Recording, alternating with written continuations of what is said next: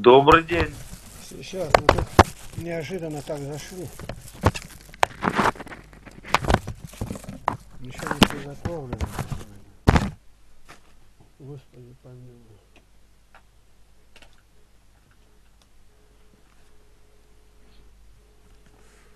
Так, минутку.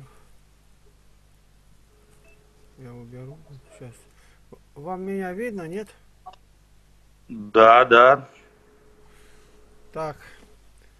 Сразу говорю, что у нас все записывается, выставляется в интернет. Вы не против? А, вот так, да? Ну да, да я, я не написал. нет, нет, да прятаться, прятаться не от кого. Просто хотел у вас поинтересоваться по одному вопросу. Ну ладно, вы скажите, не, вы не против? Нет, нет, не против. Чтобы никаких претензий не было.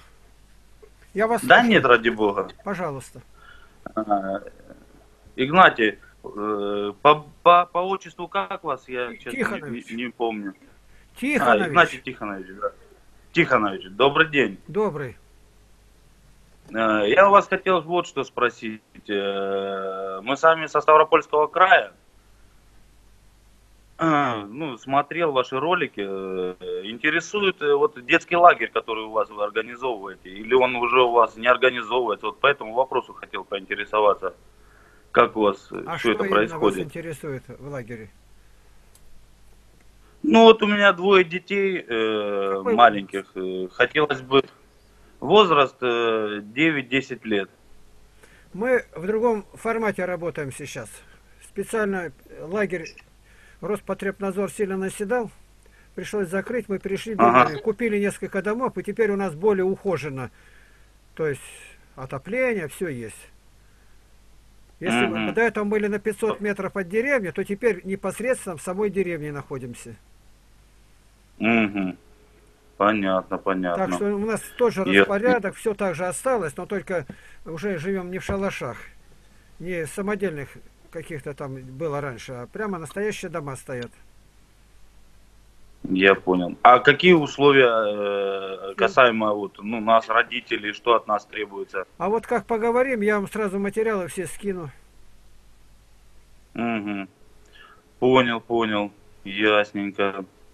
Ну как у вас жизнь-то вообще э, на Алтае? Ну, обо всей жизни на Алтае я не знаю, как сказать. Вот Назарбаев поставил власть, уходит там за собой что-то. У нас, Читали, читали. да, у нас пока все так и остается. Ну, мы верующие, мы все принимаем, благодарим Бога.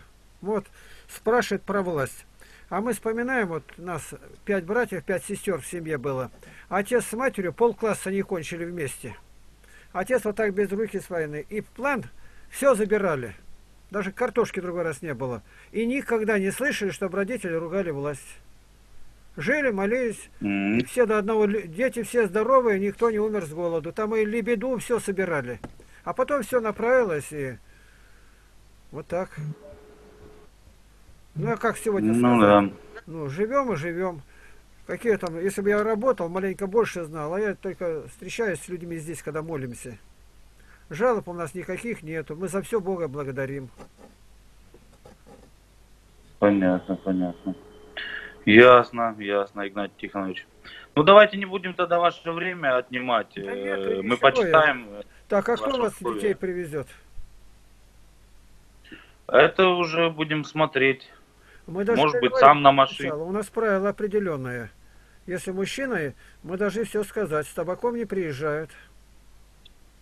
Ну, мы не курим. Ну вот, уже отпадает. Женщина, чтобы была не крашеная и не в брюках. Да, это мы видели тоже, Ну, знаем, больше у нас курсе. еще такого нет. Мы напишем, что с собой взять. Абсолютно все написано. Мгм.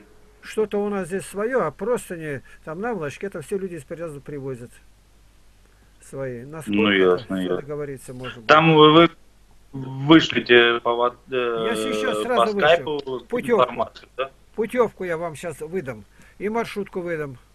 Вы как их привезете на своей Мгм. машине?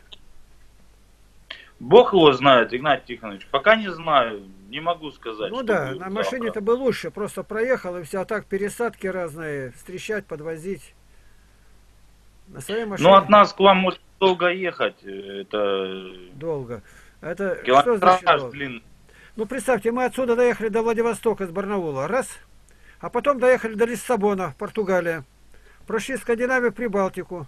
И ездили не для чего-то, а я просто дарил свои книги в каждую библиотеку. Ну 38. да, я видел, Ну, видели, слышал. какие-то. А это э, сколько? 120 тысяч километров прошли. Ровно три раза вокруг по экватору Землю. Ну, видите, как это... У вас времени больше, мы как бы работаем, поэтому А, ну не да. можем оторваться. Конечно. То есть, как бы привязаны, скажем так. Да, ну, нас люди не были связаны такой работой. Они могли отпроситься там или как-то. Вот учитель ехал, он учитель, летом как раз учителя свободные. А шофер, ну а шофер как-то он такой, как бы на временной работе был, дальнобойщики. Нам нужно было, чтобы мог ремонтировать и все, обиходить себя. Мало ли, это же дорога. Понятно, ну да, конечно. Ну все тогда. Поэтому нам выгоднее будет на поезде ехать в ваши края, А у вас безопаснее. докуда? До Москвы? Через Москву идете? Нет, ну, может быть, да, пересадка, скорее всего, будет. Да нет, я думаю, навряд ли, наверное, на Урале где-то будет пересадка, возможно, э, где-то э, в тех краях. У нас Может, в приезжали- Челябинске где-то. У нас приезжали несколько лет из Канады. Нынче опять собираются. Из Канады. Две пересадки в Париже, в Москве и в Барнауле. В аэропорту. М. Отсюда уже на машине. Я извиняюсь, Игнатий Тихонович, а у нас со временем, я что-то вот позвонил, а разница со временем не посмотрел, сколько получается Я вам напишу, разница в 4. У вас как, с Москвой одинаково? Да, да, да. 4 часа разница. А, у вас плюс 4, да, получается? Плюс 4. Угу, все ясно, ясно. Я вам все это сейчас Понятненько. скину, какой порядок даже сюда заходить, чтобы вы знали. Маршрутку скину и путевку. Угу. Понятненько, понятненько. Ну, хорошо, рад был с вами пообщаться. Вам здоровья, Спасибо. всего хорошего. До свидания. До свидания. Во славу Божию.